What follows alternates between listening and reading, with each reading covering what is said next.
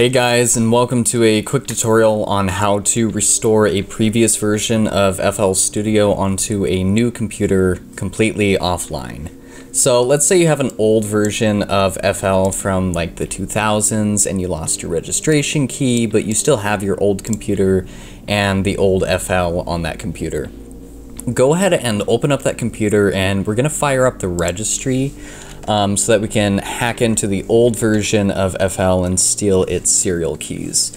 So on Windows 8 and up, you can just search for registry and it'll bring it up. And on Windows 7, you have to search for regedit. Okay, and so now that we're here, we got to find the FL Studio serial number. So we'll open up current user, uh, look for software, and then image line should be somewhere in here. And then registrations. And if your image line isn't in here, you can go back out and look in local machine uh, in software or look in HKey users. Um, and it might be in one of those. So now that we're at the image line folder, uh, look in registrations, and that should pretty much just give you your serial number right out of the box there. So copy that down somewhere. You can right click on the FL Studio box serial, uh, click modify, and then you can copy and paste that number. By the way, if you've had a username or a password that you logged in with instead, it'll just give you that here instead of a serial. So now you can use that instead, but I only have a serial for my version. Uh, make a new text folder on your desktop and go ahead and throw this serial number into that text folder. So, uh, we do need some more numbers to make this work because this alone won't get us into FL without an internet connection. Uh, if you've already registered this box serial online with ImageLine, it won't let you do it again. And if you're like me, the account you registered, it was years ago, maybe you forgot the password and you just need to get FL onto a new computer without an internet connection. So depending on which version of FL you have, uh, your folders in here are going to look a bit different. So since I have FL10, these are the different folders that I have inside of the registrations folder. And so here I have this DirectWave downloader and then the FL10 folder. Take a screenshot of this section here because you need to make your new computer registry look identical uh, for this to trick FL into opening without registering your key online. So now that you've copied that registration key from this folder, uh, you're want to look at all of your other folders to see if they have any registration keys. So the DirectWave, it doesn't, but downloader does, and so does FL10 you might have different folders, but just for each one of those folders, uh, copy down that serial number into your text document here.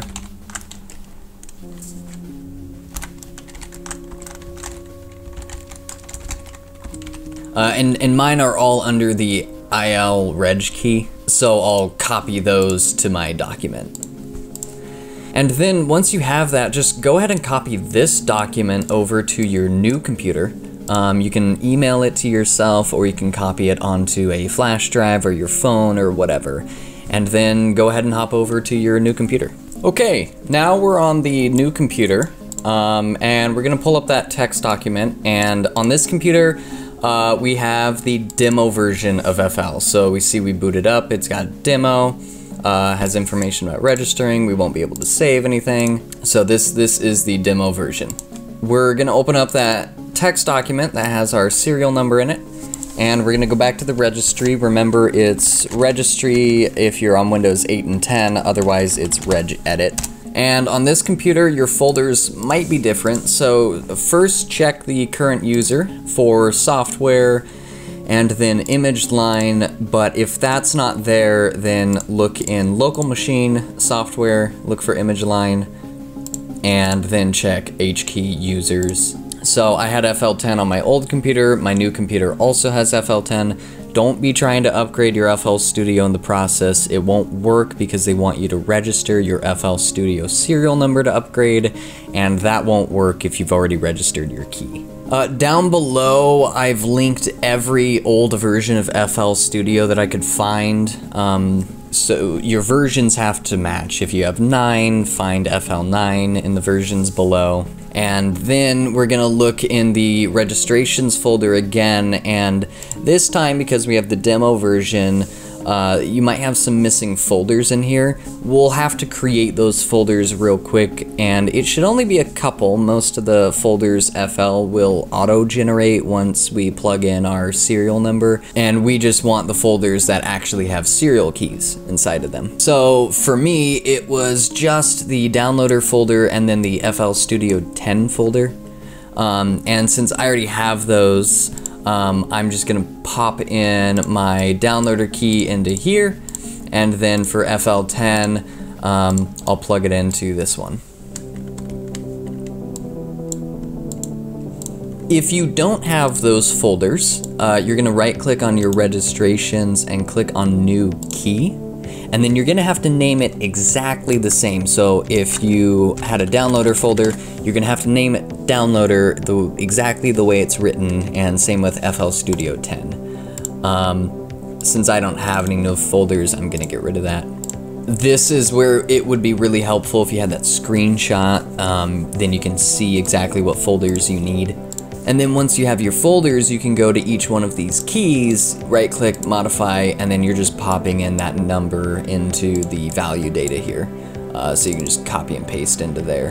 Um, and for these, if you don't have the image line reg key, you're gonna right click new string value, and then you have to name it IL reg key uh, with capital I, capital L, capital R, and capital K.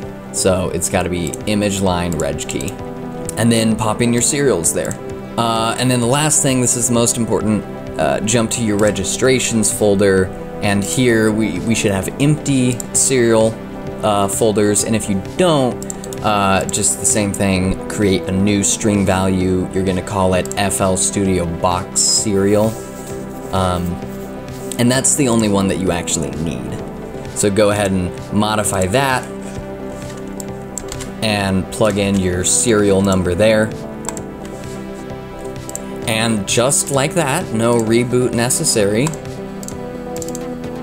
we now have the full producer version of FL Studio from our old computer.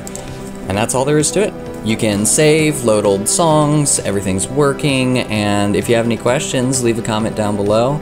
And I hope this helped you out, and good luck producing music.